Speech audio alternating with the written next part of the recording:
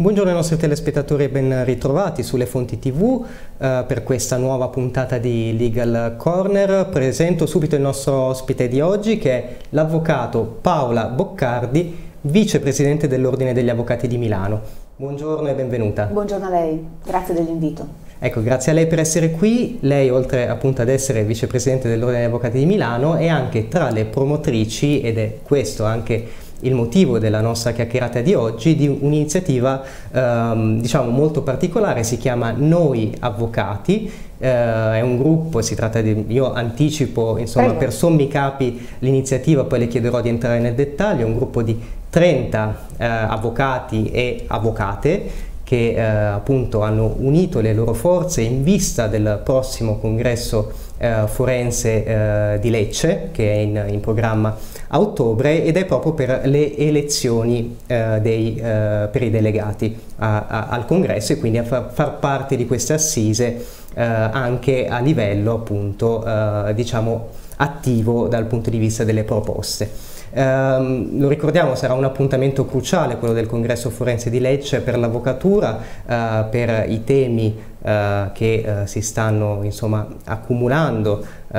ricordiamo il, il Consiglio nazionale forense ha ripreso da poco in via diciamo, continuativa la propria eh, attività che era stata in stand-by per, eh, per, gli anni purtroppo della pandemia e soprattutto ehm, ultimamente, proprio nei giorni scorsi, sono emersi in, in via ufficiale insomma, i dati che eh, tutti noi un po' ci aspettavamo, tutti noi addetti ai lavori, ovvero appunto l'effetto Covid sulla professione forense che ha portato per la prima volta nella storia a una diminuzione degli iscritti all'albo eh, degli avvocati, dovuta tra l'altro, ed è questo anche in particolare un, un motivo insomma, per la eh, nostra chiacchierata di oggi, eh, per impostare la nostra chiacchierata di oggi, in particolare alle cancellazioni da parte di donne avvocato, circa 6.000 su 8.700.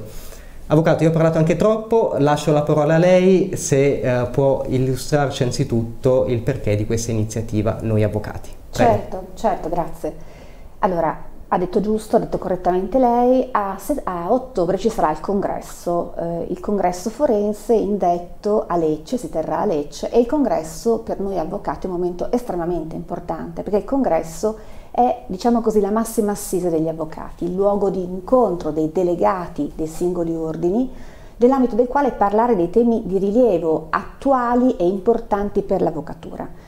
Quindi in questo momento, un momento come ha detto lei un po' particolare per l'avvocatura, mi permetto di dire un po' particolare per l'economia, un'economia mondiale, un'economia italiana, veniamo, lo ricordiamo molto bene purtroppo da due anni di difficoltà per il Covid e chiaramente questo momento, la pandemia e il post pandemia ha inciso su tutte le attività professionali e ha inciso naturalmente anche sull'attività lavorativa di noi avvocati.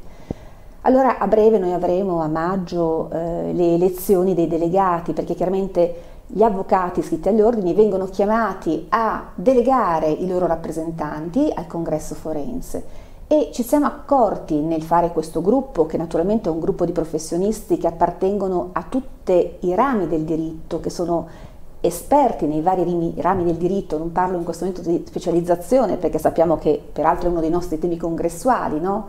Eh, è tutto pronto ma non sono ancora partite le specializzazioni. E allora questi avvocati, questi 30 avvocati esperti dei rami singoli del diritto si presentano come candidati per queste elezioni e quindi per essere delegati. Ci siamo però accorti che in questo contesto l'avvocatura è un po' distratta, un po' disattenta, poco attenta all'importanza di questo momento che è il momento congressuale. Perché è così importante? È importante perché è il momento nel quale noi possiamo confrontarci e possiamo confrontarci su quei temi che devono poi essere portati all'attenzione della politica per un miglioramento della nostra professione sotto tutti i profili.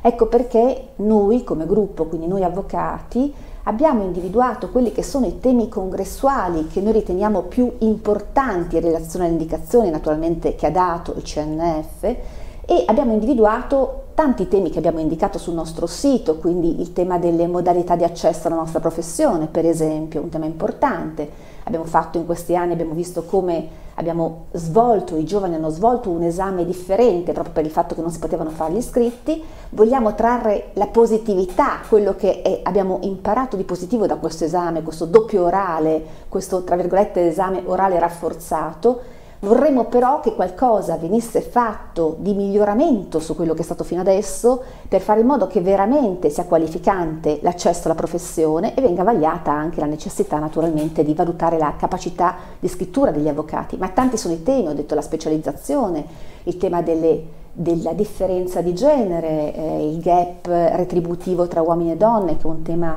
al quale lei ha già fatto cenno con riferimento ai dati emersi dalla panoramica fatta dal Censis per la Cassa Previdenza Avvocati proprio la settimana scorsa, ma naturalmente il tema ancora della monocommittenza, il tema del Consiglio giudiziario, della nostra rappresentanza, del nostro potere di voto negli ambiti giudiziari. Noi avvocati possiamo partecipare come membri laici ai consigli giudiziari, vi partecipiamo naturalmente per tutto quello che, ed è un dato importante, è l'organizzazione giudiziaria, ma poi possiamo soltanto partecipare con diritto di tribuna e non di voto per alcuni passaggi fondamentali, per esempio la valutazione dei magistrati, i loro incarichi professionali, i loro step lavorativi e noi siamo tutti i giorni nelle aule, sappiamo quello che accade, quindi sappiamo anche esprimere la nostra valutazione in questo così come le evoluzioni che devono esserci all'interno del Consiglio di Disciplina, questo organo che si occupa dei nostri giudizi, cosa modificare, cosa mantenere, cosa migliorare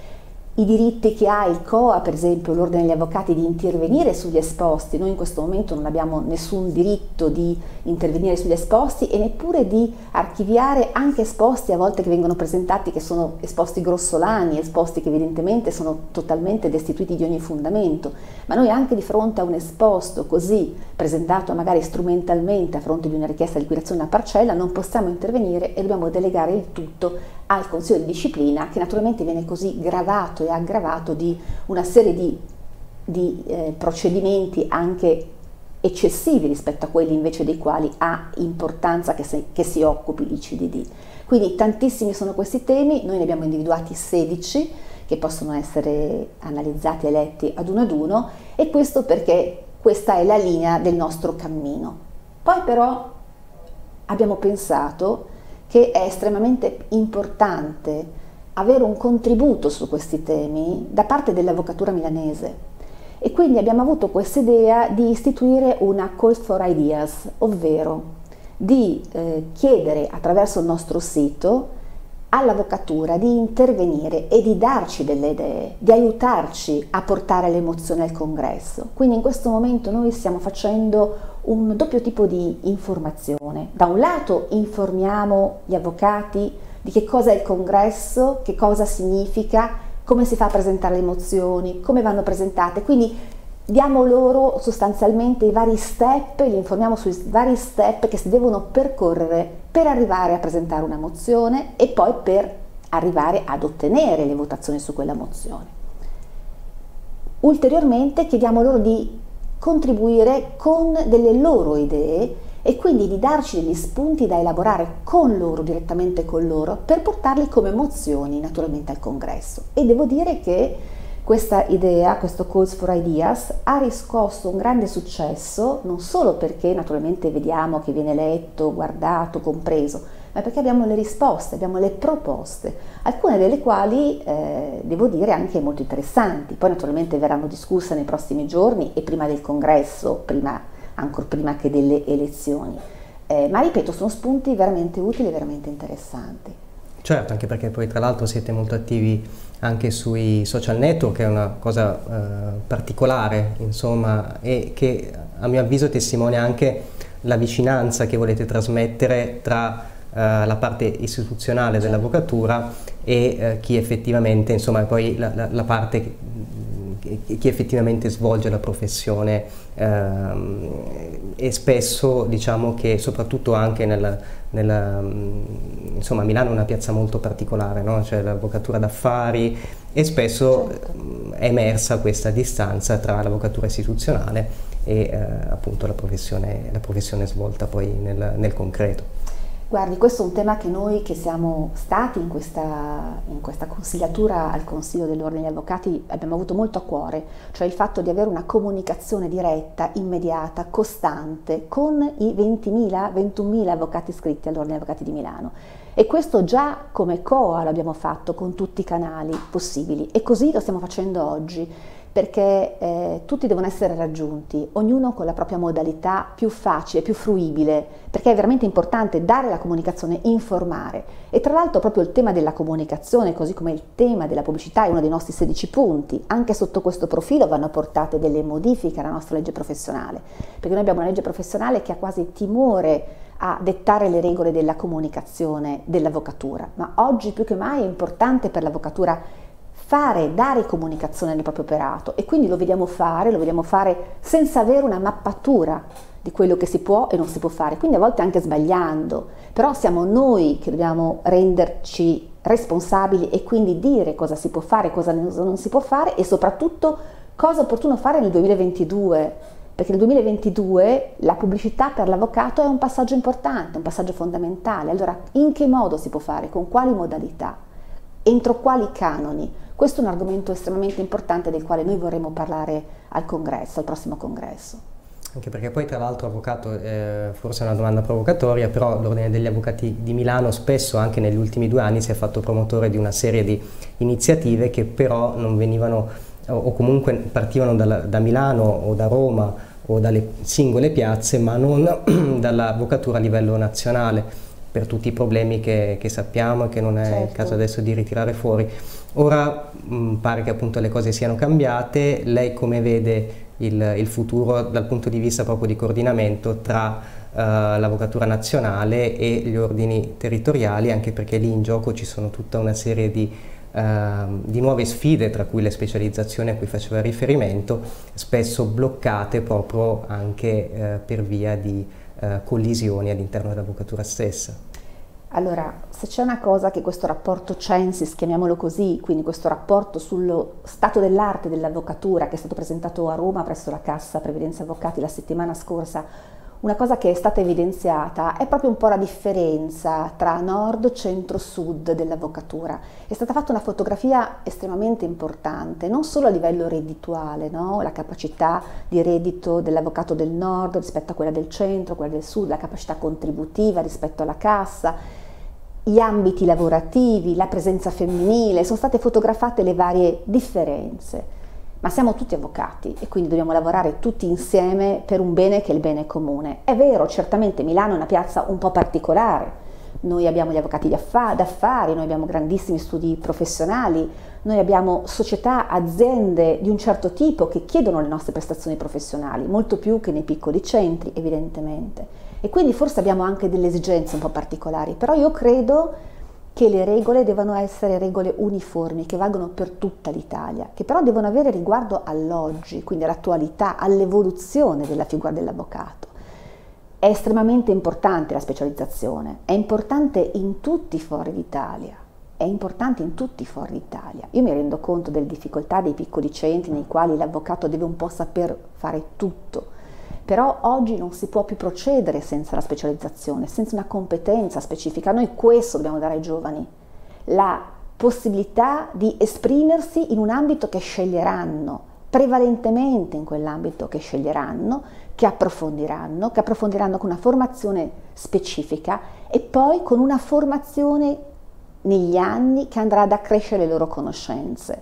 Quindi io credo che il congresso in questo sarà estremamente importante, anche per dare il là alla specializzazione. Noi oggi abbiamo tutto pronto, abbiamo un regolamento, certo abbiamo bisogno un pochino di smussare qualche angolo che renda un po' più rapida questa specializzazione, se no sostanzialmente oggi chi ha fatto il corso per la specializzazione, che ha l'attestato, finisce di dover attendere così tanto per avere il riconoscimento della specializzazione da arrivare ad avere compiuto gli anni necessari automaticamente per dare prova di avere attivamente esercitato in quell'ambito professionale. Quindi questo non è giusto, ci deve essere una modalità più snella, più rapida per attribuire il riconoscimento del titolo di specializzato. Però questi sono piccoli passaggi ormai, la strada maggiore è stata fatta, è stata fatta, lo sappiamo, negli anni con una grandissima difficoltà. Siamo approdati a un regolamento, adesso dobbiamo cercare di capire come attuarlo nel migliore dei modi in maniera più snella possibile e più efficace possibile. Quindi è importantissimo su questo punto un confronto dell'avvocatura ed è l'avvocatura di tutti fuori d'Italia. Poi naturalmente è chiaro che io ritengo che per Milano, che è proprio una piazza, come ha detto lei, un po' particolare, no? Eh, Milano debba avere una voce, debba avere una voce in questo, perché in tante cose Milano ha avuto la capacità di fare, mi permetto da, di dirlo, da traino in questi anni, anche nel momento di emergenza, di emergenza da Covid, Milano è stata d'esempio per tante cose, anche per la gestione delle udienze, per la gestione dei procedimenti, ci siamo attivati in tutti i modi, anche aprendo un dialogo efficacissimo con la magistratura in questo senso. Ci siamo attivati moltissimo per gli esami, per permettere gli esami d'avvocato.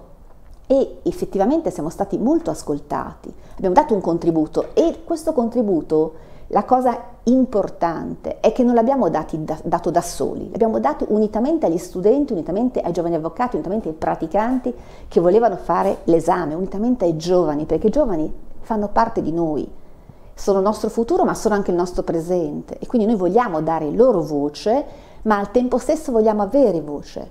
Deve essere una voce omogenea ma che si fa ascoltare e sa farsi ascoltare. Questo è un dato estremamente importante.